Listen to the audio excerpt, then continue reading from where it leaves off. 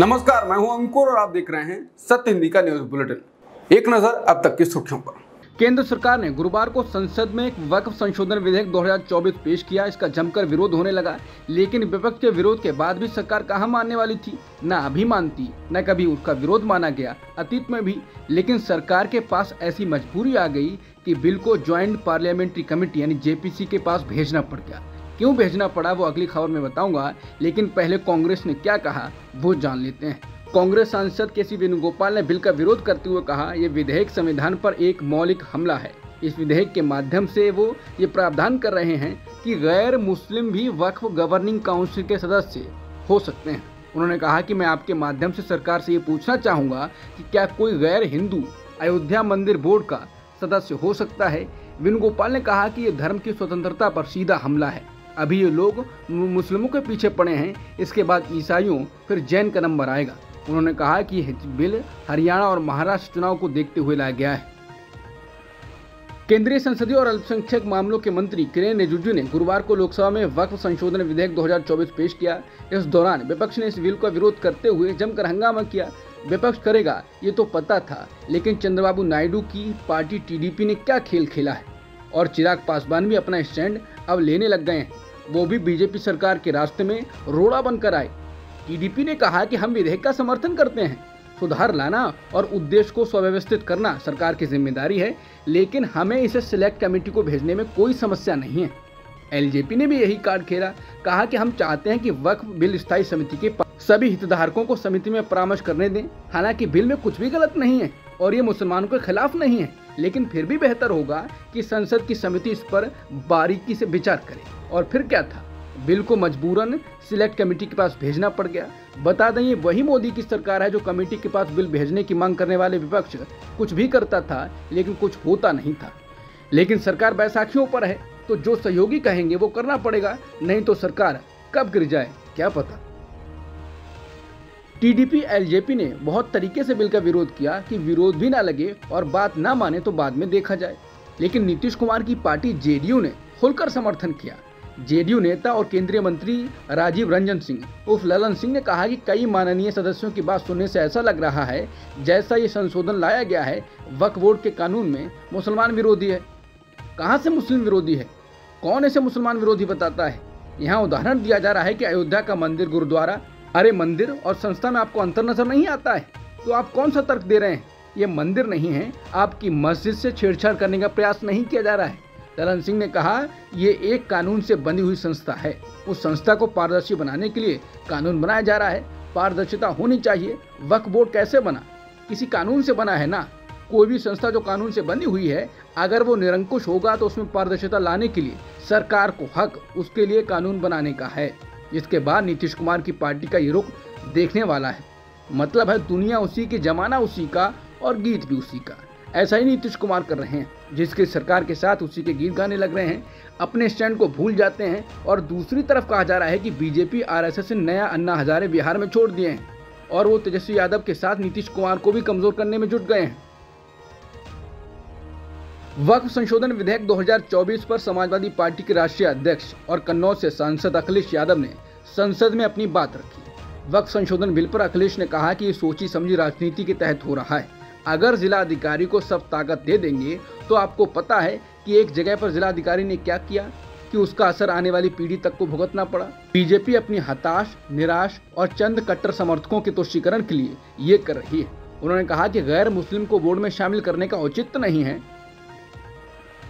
वक्फ संपत्तियों को रेगुलेट करने के नाम पर किसी संपत्ति को वक्फ के कब्जे में कैसे माना जाए, इसे फिर से तय करने के लिए सरकार एक विधेयक लाई है। इसमें वक्फ संपत्ति की परिभाषा से लेकर राज्यों में वक्फ बोर्डों के ढांचे को बदलने तक कई महत्वपूर्ण संशोधन शामिल हैं।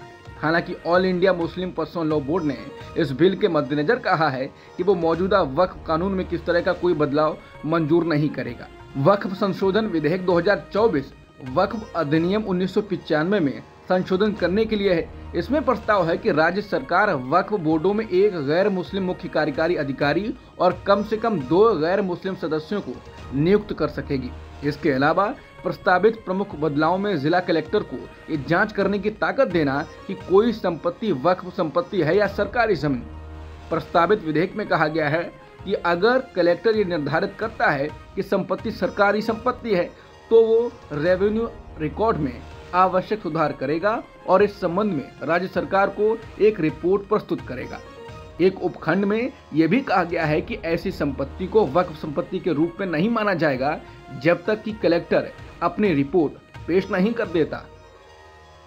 विपक्ष के साथ अब भाजपा के वो सहयोगी भी मांगों में आने लगे हैं जिन सहयोगियों की वजह से केंद्र में मोदी सरकार टिकी हुई है। विपक्ष लगातार मांग कर रहा है और प्रोटेस्ट कर रहा है कि स्वास्थ्य बीमा से जीएसटी हटाया जाए, लेकिन अब विपक्ष को बीजेपी सरकार की बैसाखी, यानी टीडीपी और जनसेना पार्टी के साथ भी मिल गया है। इन दोनों दलों ने स्वास्थ्य और जीवन बीमा और हैंडलूम पर लगाए गए जीएसटी को वापस लेने की मांग की है। ये मांग लोकसभा में बजट पर चर्चा के दौरान उठाई गई।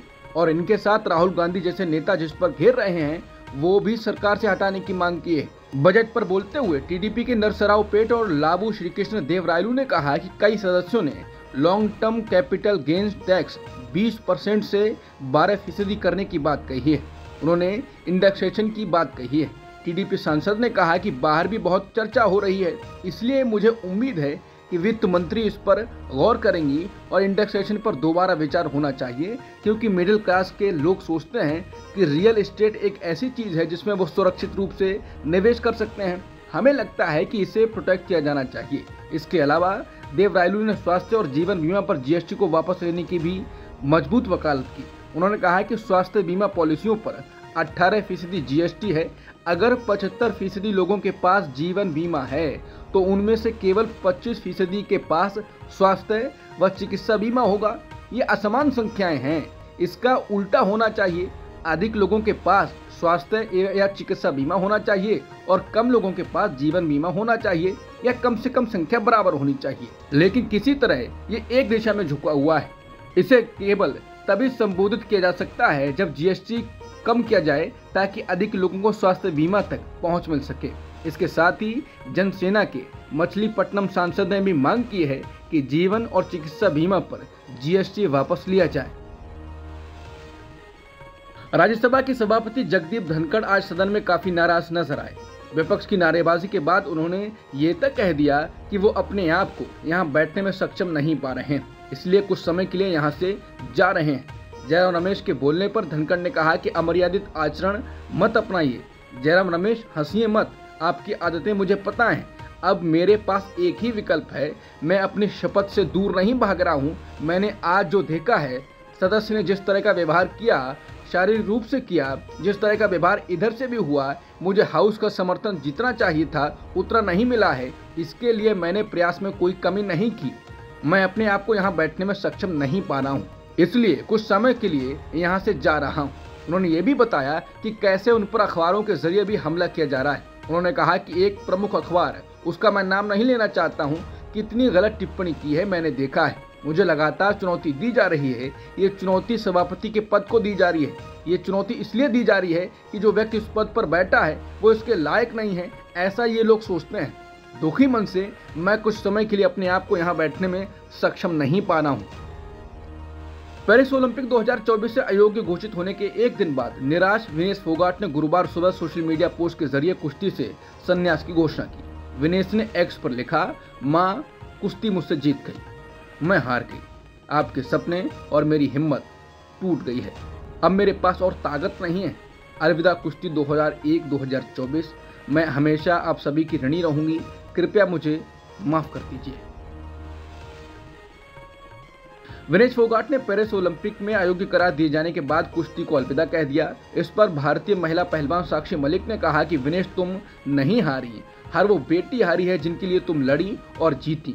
उन्होंने लिखा है, ये पूरे भारत देश की हार है। देश तुम्हारे साथ है। खिलाड़ी के तौर पर उनके संघर्ष और जज्बे को सलाम। बता दें इससे पहले, हरियाणा के सीएम नायब सैनी ने कहा कि हमारी सरकार ने यह फैसला किया है कि विनेश फोगाट का स्वागत और अभिनंदन एक मेडलिस्ट की तरह ही किया जाएगा। सीएम ने लिखा कि हरियाणा सरकार ओलंपिक रजत पदक विजेता को जो सम्मान, इनाम और सुविधाएँ देती है, वो सभी विनेश फोगाट को भी कृतज्ञता पूर्वक दी जाएँगी। भारतीय wrestler Vinesh Phogat Paris Olympic से डिस्कालीफाई कर दी गई। इसके बाद उन्होंने संन्यास की घोषणा कर दी।